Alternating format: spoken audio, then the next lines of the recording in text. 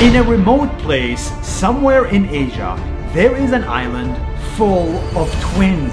Hi, Nash. Hi, Nash. Hi, Nash. Hi, Nash. Hi, Nash. Hi, Nash. So many identical twins for a very small population. Yes, there is only one question to ask.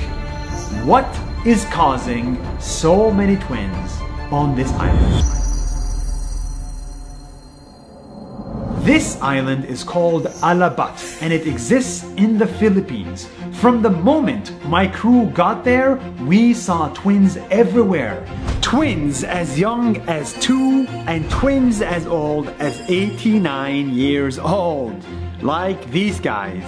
Si Yudos Camilas, 89 years old. Kanina, Amargo, 89 years old. Ay, wari ko, wala na yung pinakamatandang kambal sa Perez. If you think you're seeing double, you're not. And they're not the only ones. You see, here, one in every three families has twins.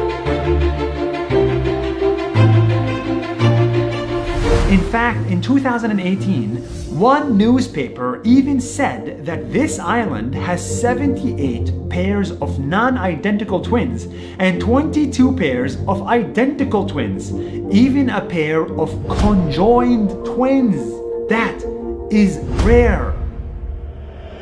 And to add to the confusion, most of them even dress the same, with the same shirt, pants, shoes, even the same hairstyle, so nobody could tell them apart. Pag may problema po si Nikki, nararamdaman ko po kahit hindi niya sabihin. Hi, Nash. Ako po si Reyna Joy. ako yung masungit. Ako yung mabait. Matangkad po ako. Pandak po siya.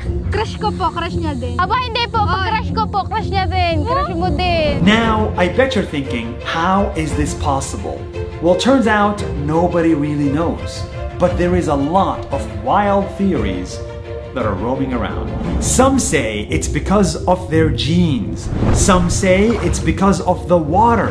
Some even say it's because these guys eat a lot of bananas.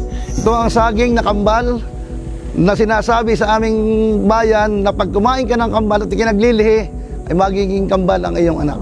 And with so many identical people in one island, chances are they get mixed up a lot.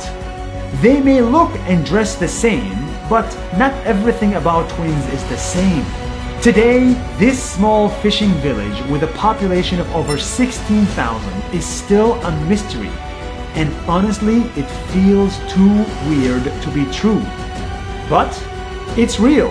It's here, and it's full of happy and identical citizens. Hey everybody, thank you so much for watching Nas Daily. Nas means people in Arabic, humans. And we are on a mission to show you the stories of humans from all around the world. I'm actually very excited about the videos we're working on. So please follow us on Facebook and Instagram so that you don't miss a video. We think everybody in the world should watch them. Thank you and see you soon.